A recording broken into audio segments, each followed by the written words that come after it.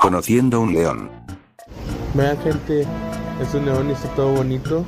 Y pues la persona que lo cuida nos dijo que hay que tenerle cuidado ya que aún así sigue siendo un animal salvaje, aunque él de repente le haga caso, no, no hay que confiar. Y aquí pues nos dice que no hay que tocarlo mientras come por lo mismo, ya que él piensa que le quieres quitar su comida. Es cuando se acerca.